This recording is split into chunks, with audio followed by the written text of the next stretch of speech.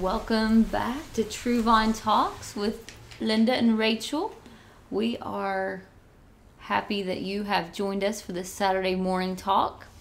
Today we're going to um, venture off in a little, little different area that we haven't kind of. Well, we did the power of the subconscious mind. That was kind of neat. Yes.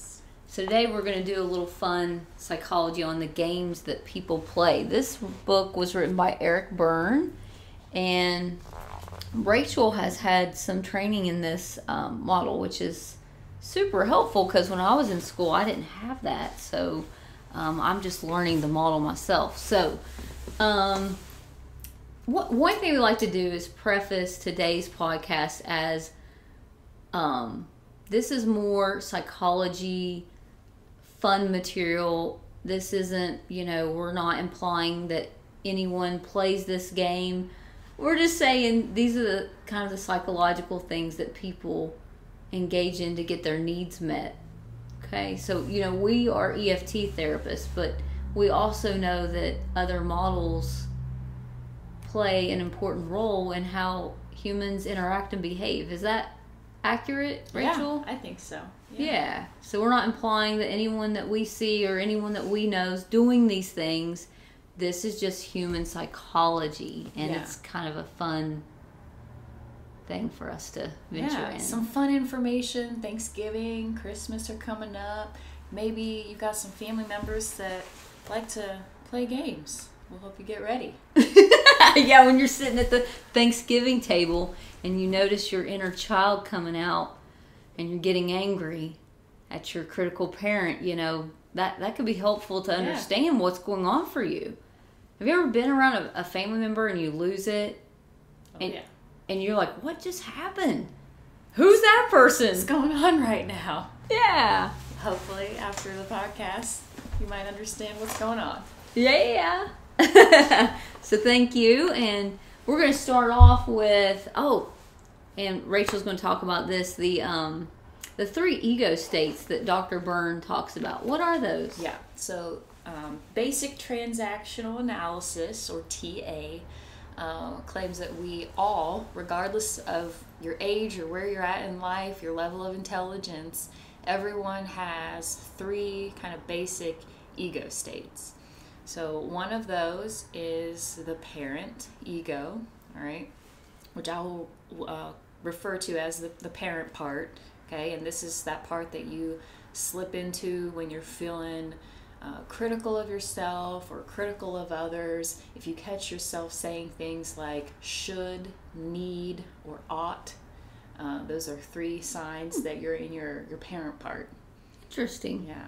Everyone should, you know, immediately go when the light turns green. I don't know why I always have to wait on people to get their stuff together and go, right? Being critical.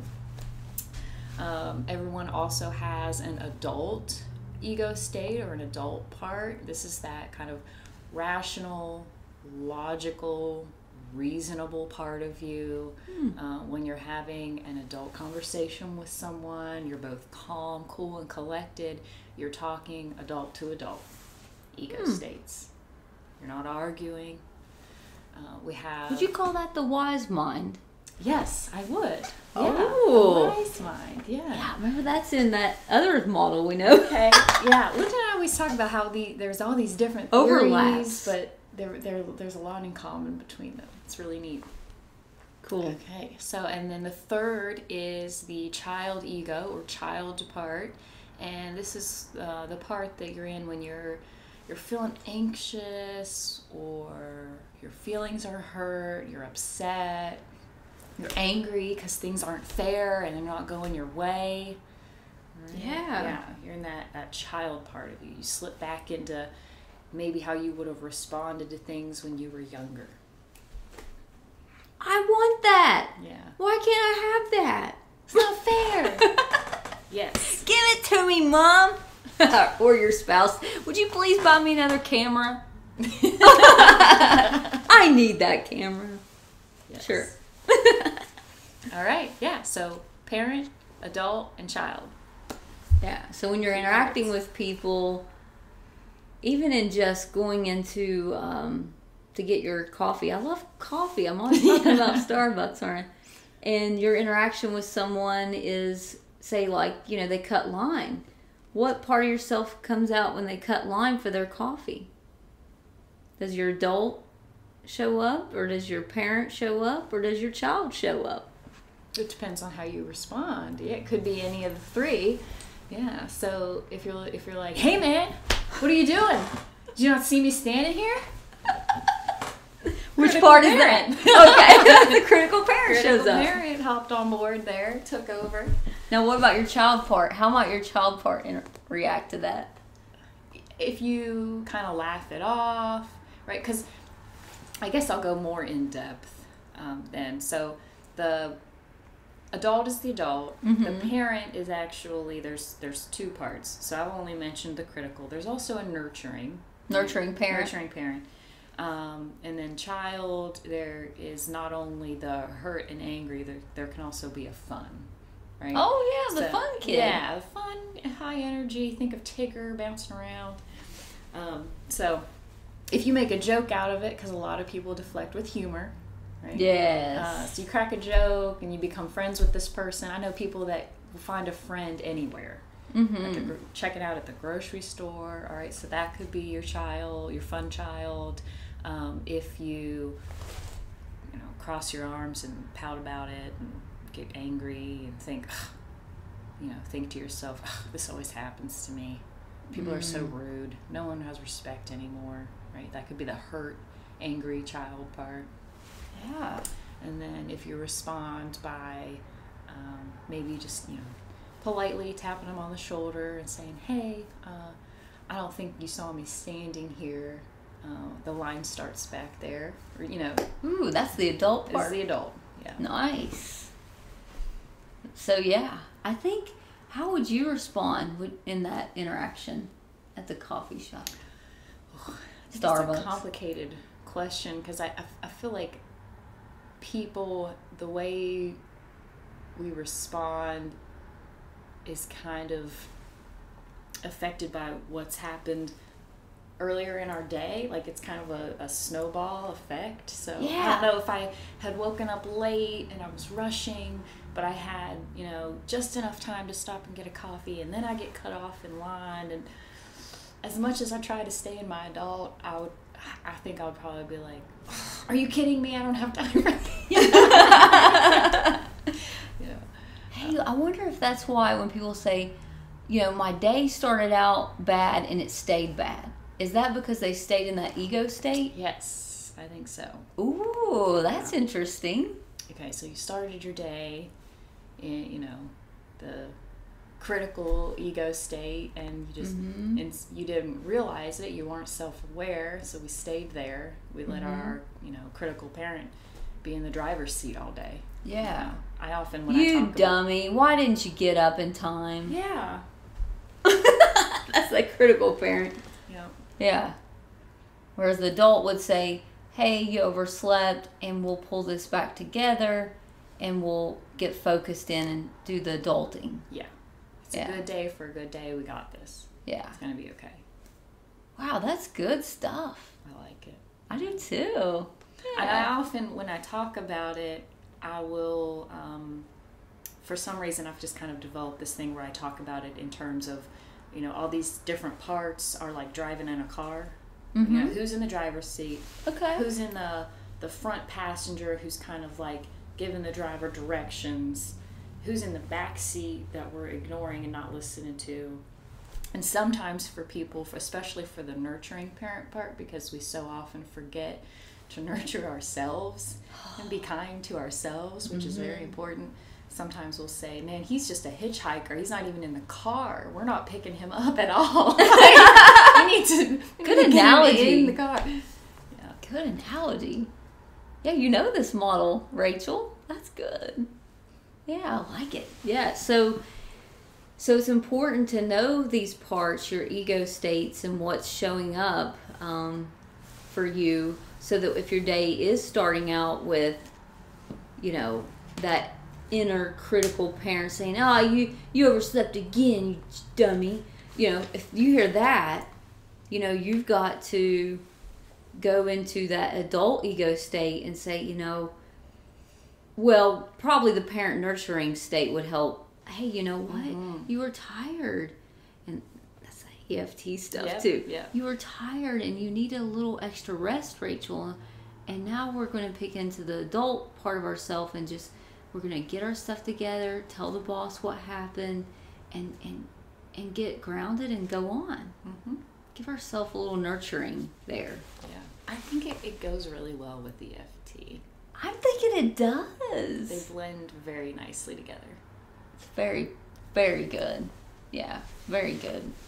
So, um, what are some other important things for our listeners to know about the games that people play in this? Yeah, I guess before we start talking about different types of games, it would be important to know that the critical parent Mhm. and hurt child part are often engaged at the same time. So when we feel hurt by others, Mhm. we will often go from feeling hurt to being critical and wanting to kind of get revenge in some way. Like, oh, they shouldn't do that. How, Mhm. Like, that's unfair. They shouldn't treat me that way. Right? That that's unfair is the hurt child. The they shouldn't treat me that way is the critical parent. So, uh, and then in terms of like um, being depressed or anxious, the self talk, um, when we're critical with ourselves, will literally hurt ourselves. So, oh, you're, you're so stupid. Why can't you get it right? Why do you always make these mistakes? Oh, I'll never get it right. I'm so worthless. Hmm. Go from the critical to hurt. So, those two bounce off of each other a lot. So, as you're sharing so beautifully, Rachel, um, I'm thinking, wow, I'm thinking self harm comes up for people Mm, if they're stuck in that critical parent hurt child, yeah, that back and forth. that ego It's so hard. Yeah. And I do see self harm and, and thoughts of suicide when people get stuck in that back and forth, critical and Oh. hurt a lot. Yeah. Wow. Wounded child and critical parent Yeah. ego states. Yeah, because it just it becomes like an all day cycle of I'm not good enough, Hmm. I'm worthless, I'm not good enough, I'm. Yeah. So, what is it you tell yourself when you feel sad? Hmm. That's that EFT stuff. Yeah, absolutely. Wow, you tell yourself you're not worthy. And that brings water to your eyes, Rachel, as you mm. share. She has a very empathic heart, this Rachel does. like emotional sponge. Can't even She's- talk about other people feeling sad without getting sad myself. so that tells you that Rachel has an empath heart and her nurturing parent inside of her shows up in her sessions with her teens and her kids and her adults. And that's what makes Rachel an amazing counselor. oh, thanks, Linda. Aw. We're all warm and fuzzy over here at True Vine. Yeah. yeah. So, so in knowing that um, people go in that cycle of critical parent, wounded child, what are some, you know, ways of stepping out of that cycle they get into within? Yeah. So, self care, which Mm. we've talked about, is a, is a is a really good way of getting people to start nurturing and caring for themselves. Mm-hmm. Um, a lot of people will who aren't ready to dive into the emotional stuff will start with uh, basic CBT. Um, okay, what what are what are we thinking? What how can we change that? Mm. Um, and then um, we talked in the last podcast about the empty chair Mm-hmm. Um, I like to use that uh, with you know, the EFT stuff and the TA. So we'll have like, okay, this is a our hurt child chair, Mm. and this is our adult and nurturing parent chair. And what does the nurturing, logical, rational part of us need to say to the part that's hurting? Very good. Yeah, that's beautiful. Mm-hmm. And that goes into that family systems therapy where, you know, the trauma stuff, you want to heal the wounded child. So when that wounded child is sitting in an empty chair, the nurturing parent part of yourself shows up. And we call that the exile self. Yeah. Oh, Isn't that neat? it's so powerful. Yeah. Yeah, and sometimes, um, you know, the, the the client is not ready, um, or they can't find the words, and so you explained um, really well last week, but I can't remember the term that you use when you are saying for the client what needs to be said. Proxy voice. Proxy voice. That's what we use in Yes. emotionally focused model. Yeah. So yeah. So the proxy voice can be used for that too. Mm-hmm. talking to that hurt child part like you didn't deserve to be treated that way you Mhm. have every right to feel sad of course you feel sad Mm-hmm. Yeah. and it's i think just have hearing someone else say that oh it's okay for me to feel this way but it's not going to last forever and i Mhm. deserve to take care of myself and be happy like Mm. hearing someone say that is so validating Yeah. What does it do to our limbic systems? just soothes. It's like giving your limbic system a hug. yeah, Yeah. Therapy's great. it is. Counseling's awesome. Yeah. We love what we do, me and Rachel. So cool. So in talking about this, um, you know, I think you know the fun part of this, you know, the childlike parts of me and Rachel like to talk about just general, you know, games that people play that maybe, you know, say like you you go somewhere and you know, like Thanksgiving dinner. Okay, we we were gonna bring in Thanksgiving dinner Yeah. because it's coming around the corner. It is. A couple weeks. Yeah, so you're sitting at the Thanksgiving table and you know, someone at the table has something critical to say about your childhood. Because they they grew up with you, and they say, "Oh, remember when Linda, you you were crawling underneath the pews and cussing at church?" I love this story. I'm always like, why do people bring this story up? Every single time I'm around my family, I get told about crawling underneath the pews and cussing during the church service. That's that's a great time for me. So automatically, what what ego states show up for me? Well, I'm, I'm gonna guess that you get embarrassed, so you're in the hurt child, Her child shows up. And then maybe flip into a critical parent. Be like, why you always gotta bring this up at every meal we have together, y'all? Is I'm it? much older. Yeah. I don't act that way anymore. I mean, I don't crawl into the pews and cuss at people in church. By the way, my my childlike grandma put me up to that. oh. she did. She thought it was funny. In her humorous childlike part, thought, "Oh, I'm going to make my child, my grandchild, be a child, and and get everyone, you know, laughing in church." So she thought it was funny, and the critical parent that showed up was saying, "Oh my gosh, you're getting a whipping for this," and you know, I get taken out and whipped for cussing in church.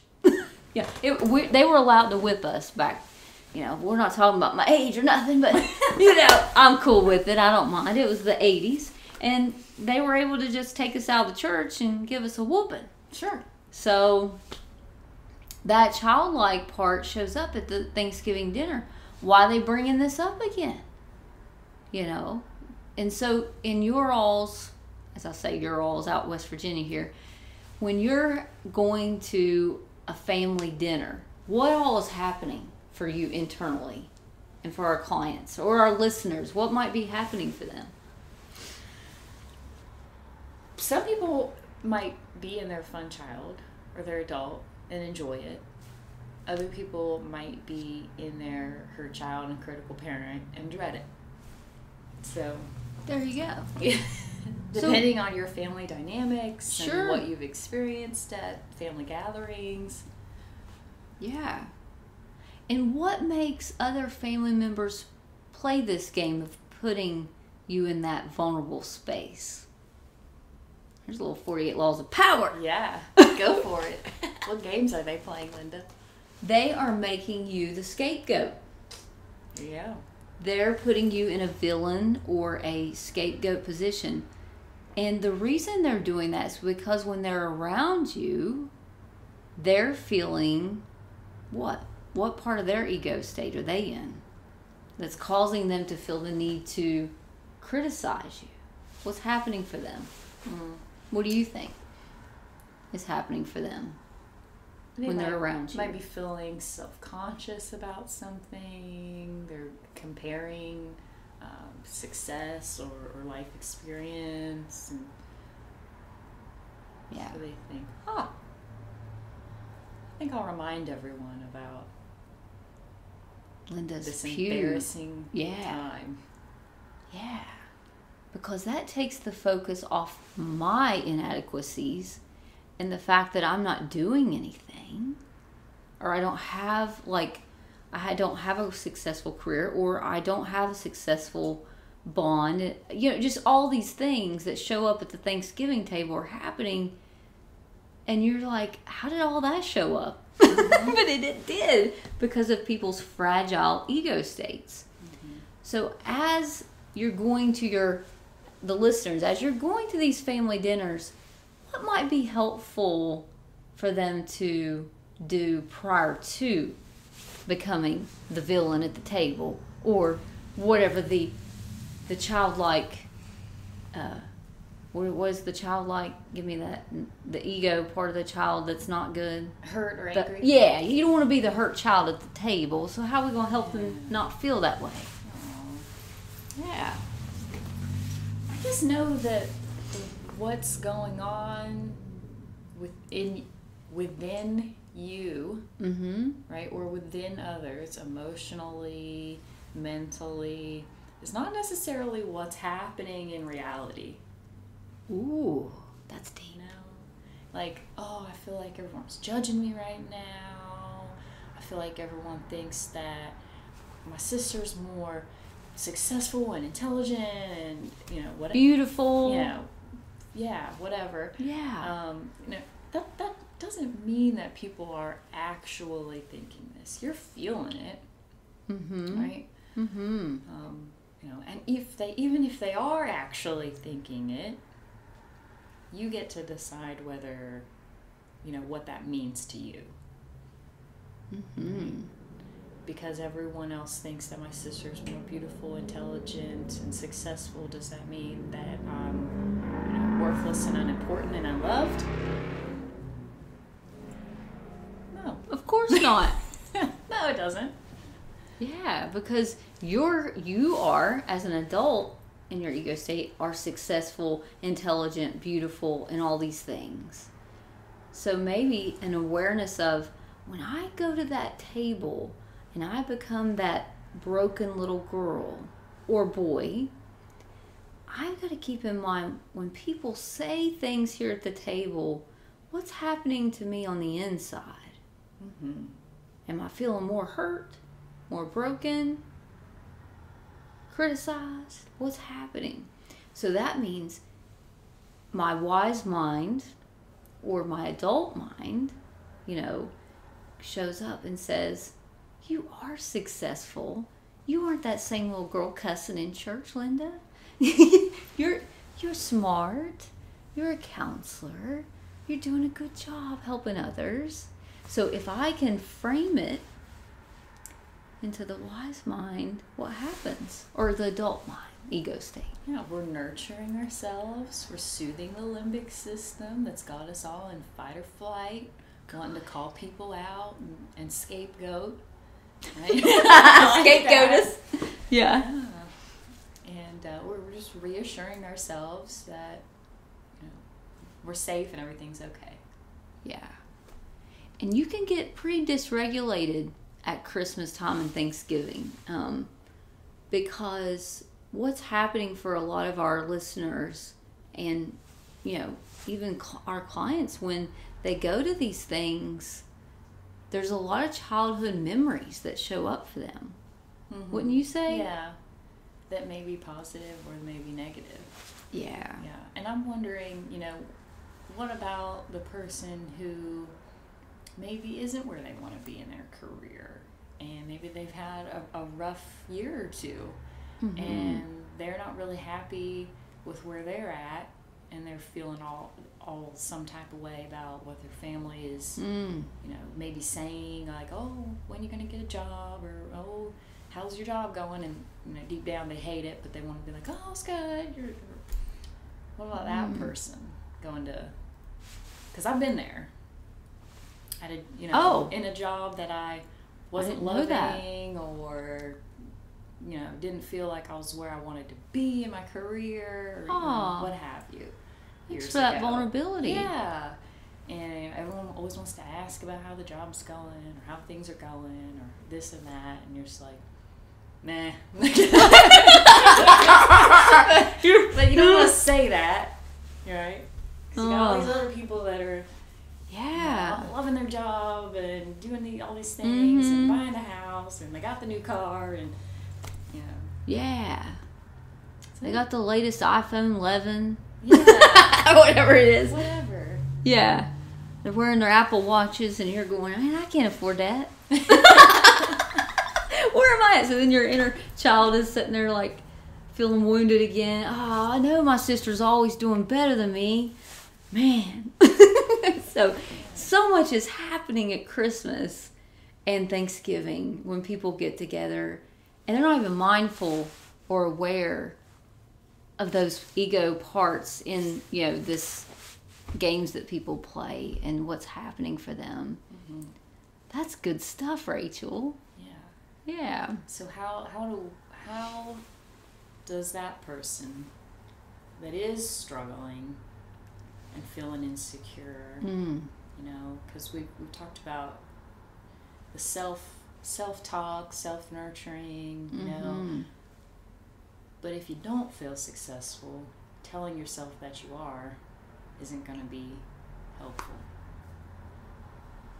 Yeah. So how would you help that that person that's sitting at the table and you're saying hasn't gotten to the place they want to be with their Yeah. life goals?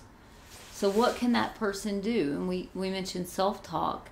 I think what would be important is to do a little mindfulness and meditation and focus on oh my goodness, I've been honest. I treat people well. I'm a giving individual because there's so much more to the person than your your income and your career choice that makes you you right Mm-hmm. maybe you're a really generous person Yeah. and you want to contemplate oh my gosh i am really generous and just get mindful about everyone has highs and lows in life Yep. and eventually it's going to go back up Un- unless there's something catastrophic you're in a flood or earthquake or lots of people die around you i mean there are massive things that happen we're not saying Right. yeah so is that helpful like the person Yeah. that's feeling man i'm just not there um, where everyone Yeah. else is Yeah, like knowing, like kind of prepare yourself and know that success isn't only your job or type of house or car or material things that you have. Success can be all kinds of different things. yeah How you treat other people. Mm-hmm. Right. And, you know, just having qualities of honesty and integrity. Mm-hmm. Those are diamonds to me. Yeah. Which is really, I'm glad you say that because looking back, I wish that I had just been honest with people when they asked and been like, you know what? I'm, I'm blessed and happy that I have a job and I can pay my bills, but it's really, I don't see myself staying there forever. Because the job sucks. yeah, it's not, it's, just, it's not what I want to do. I don't, Yeah. I don't see it as long term. Yeah, and that's okay. And then you can have a genuine conversation. Yeah. It's good, isn't it? Yeah. So getting a little bit vulnerable too in your dialogue at the dinner table or the Thanksgiving or Christmas dinners. So how's things going for you, Rachel, at your job? You might say, "Mm, "This really sucks right now. I don't see it going anywhere." So I think that goes to Brene Brown stuff, that art of just being vulnerable and real if the people are safe for you to do that. Now keep that in mind. Cuz I I have some poison poison people in my family that I would never share anything vulnerable with because they would use it as ammo to, to hurt my hurt child and d- demolish my hurt child. just go in and just tear her down, right? Mm-hmm. So you got to be mindful when you are being vulnerable and sharing at that table. Is this someone I can be real with? And they're going to be like, you know what? I've been there too. I've been in a job that it just, I knew it wasn't going anywhere. And you're going to find your niche. Mm-hmm. That would be the right response Yeah. from someone safe. Yeah, and it open it opens if it's a if it's a genuine person that you're safe with and they care about you. It would open the door for them to say, "What is it that you want to do? What's your dream job?" You know, you could have this beautiful conversation, but if it's someone that um, is just kind of asking because they they ask you every year, they feel obligated to say something to you. Right? Stroke We your all have that spine. person. Yeah, like, stroke your I spine. acknowledge that you exist, but I don't really care what the answer is. I don't really care about you. Yeah. Yeah. You have those interactions too. yeah. with people. Yeah. That's good stuff. Yeah. So, what else might be helpful for our listeners? Do we want to go into some more things or? yeah. Do you want to talk about some of the games? Yeah, and that- Rachel's got a lot more expertise in this. Oh, I don't know about that. She does. Yeah, so we got a couple games that we decided we would discuss, like four or five here. And um, you may know some of these from people you work with, friends, family. Uh, the first one is Why does this always happen to me? Hmm. Mm-hmm. The I like it. game, Why does this always happen to me? It's that person who is almost walking around with a, a, a do not kick me sign on them, which just leaves people wanting to kick them in Yeah. a way, you know. That's how it describes it in the book. And uh, then when they do get kicked, See, I told you so. they feel so just, they're just always treated unfairly and they don't understand. We call it. um It's the. Is it the the martyr syndrome or the victim syndrome? Is it martyr syndrome? Like I think this one's victim syndrome. victim syndrome. Why does this always happen to me? Yeah. I'm a victim, yeah. Yeah, and again, we aren't talking about people that are struggling with um, mental health, like anxiety, depression, trauma. That's not what we're No. talking about. Make sure make that very clear for our listeners. You, if you've been victimized, you you are truly traumatized. Oh, yeah. Yeah, but we're talking about people that use this game for a secondary benefit. Um, why does this always happen to me? Um, have you had any experiences with that, Rachel, in your work or otherwise life related situations? I think um, I'm having to think way back because I don't hang out with people that want to play games. she don't like I got games. time for games. Uh, Let's do some adult adult here. yeah.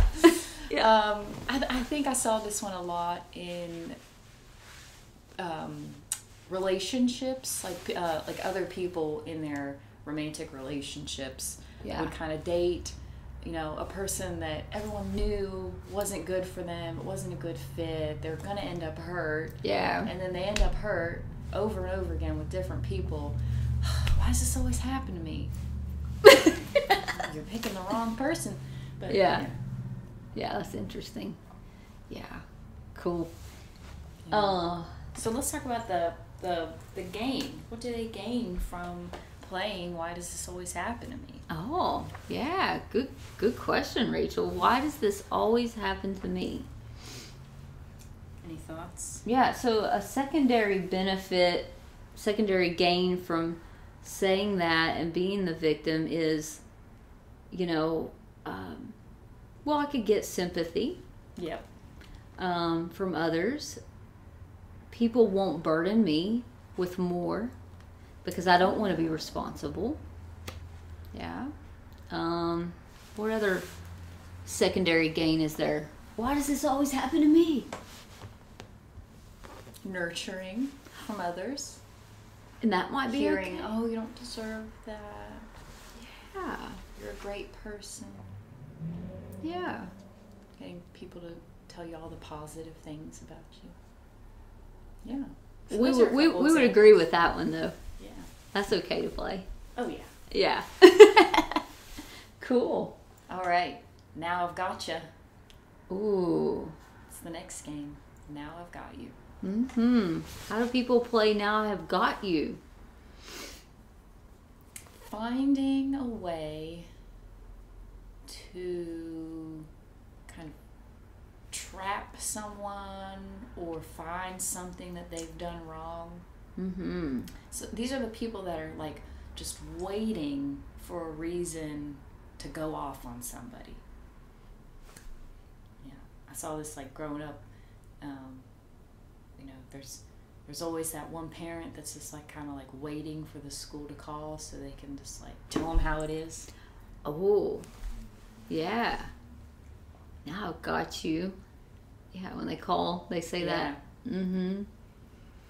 Yeah. I'm thinking. Now I've got you. Just in you know my growing up and watching interactions among family members, I I just remember them doing like their actions would be towards their own goal or their own benefit and they would they would situate things so that the other person they would create drama and they would do it in a way to to get something you know out of it. And they would just be like now i've got you you know like i i don't want to say too many things about what happened when i was growing up but Yeah. yeah, i mean i just watch people play. And i've seen it in you know relationships too is you know um, the the wife or the or the husband not not in at true vine not in couples therapy just just seeing you know friends or whatever just like see you know he always makes me do that and she'll act a certain way and then he'll be like now i've got you you know because she'll act the way i don't know maybe i'm not getting it right No, I think you are. yeah Yeah. i don't really You, understand it, it- it's.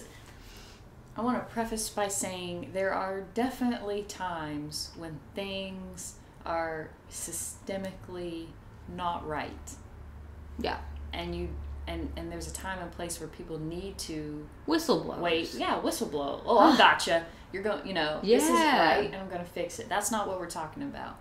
When people are playing the game, now I've got you. They find enjoyment and excitement Hmm. in the possibility of catching someone doing wrong or catching someone in a lie or Hmm. cops? Yeah. Cop, like Cops. cops. and, yeah. Cops and robbers? Yeah.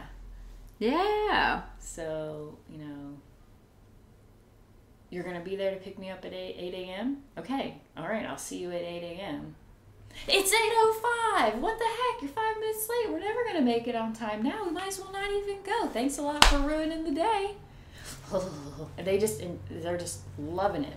Yeah so now i It's got you you owe me yes it's that drama yeah that makes sense see i'm not as familiar with these things these are interesting to me i, I, I we'll talk about 48 laws of power sometime. yeah that's linda's That's my thing. But these are similar, I'm sure. I just haven't pegged them with the right things. Ain't it awful? yeah Ooh. To me, Ain't It Awful and Why Does This Always Happen to Me are, are kind of similar. The Ain't It Awful is just nothing ever goes right, nothing's ever my way.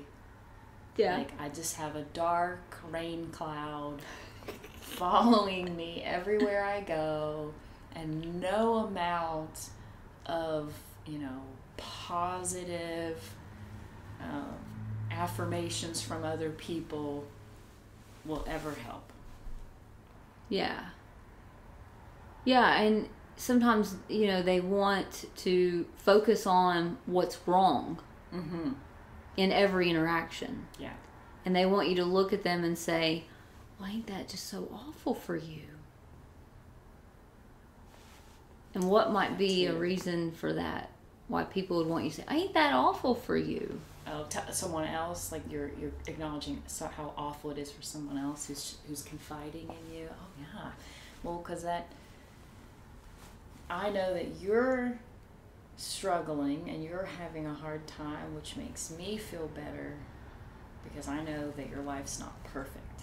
Mm-hmm. Yeah. So it would evoke more sympathy from you, or empathy, maybe. Mm-hmm. But there does. Have you ever, if our listeners have ever been around someone that catastrophizes, everything is bad. I'm Eeyore. There's always a rain cloud over me. Like they just want to be miserable. Yeah, This is not someone who is not depressed. suffering from depression. I'm not talking about that. and wants to get better and they're going to counseling and they're seeking medication and they're doing the things to not feel awful. This is the person that is not trying to get better. They want to be miserable. Yeah, and if you're sitting at your Thanksgiving table, it's possible to have one of those. I think everyone probably knows one. Yeah. Throwing a big assumption out there, but Well, people play games, so there's someone somewhere. Yeah. So when they're playing Ain't It Awful, um, there's no, uh, they just want you to look at them and say, oh, pity you. Pity. That's a pity. Feel sorry for you. Aren't you so pitiful? Yeah. Yeah. So, And you, you know someone's playing Ain't It Awful if you begin to feel frustrated and helpless. Because nothing that you can do is ever helpful to this person. They're still miserable. Well stated, Rachel. That's so true. Oh, see what you made me do. Oh, Rachel has. Oh, yeah. Who does this? Yeah.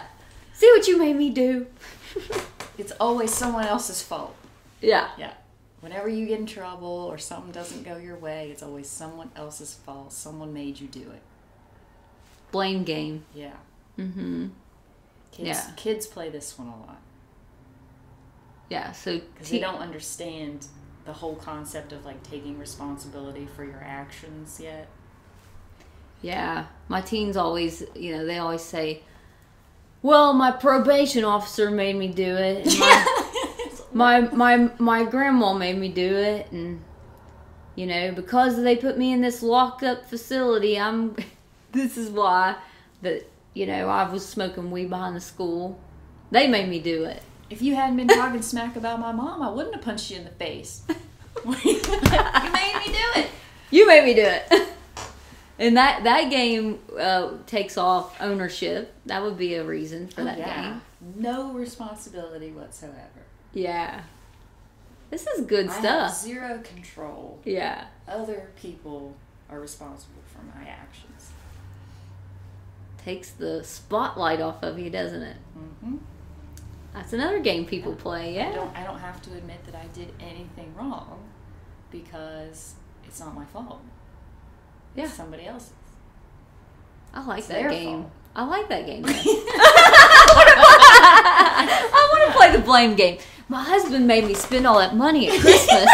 it's his fault he asked for those things. Now I don't have any money. yeah. All right, and then the last one we'll talk about today is mm-hmm. yes, but. All right, this is the the game people play when they're complaining about something, and then you give them some like solid advice, and they're like, "Yeah, but." There's always an excuse for why they're not fixing the problem they're complaining about. And, and what is the purpose behind saying yes, but I can't I can't possibly get up and do this, this, and this to feel better. Gosh, Rachel. Oh, well, if, if I always have an excuse for not changing my behavior, then I don't have to feel responsible or put forth the energy to change my behavior because that would take time and effort. Yeah. Makes sense. So, yeah, but So you ever been in a conversation with someone you're like, hey, why don't you try have you ever tried working out? Say yes, but yeah, but I don't have time for that. I mean, I'm so Oh. busy. And, yeah. Have you ever tried meditation to feel better? yeah, but it, didn't really work. I was just Oh. Have you ever tried um, you know, visual exercises to calm down?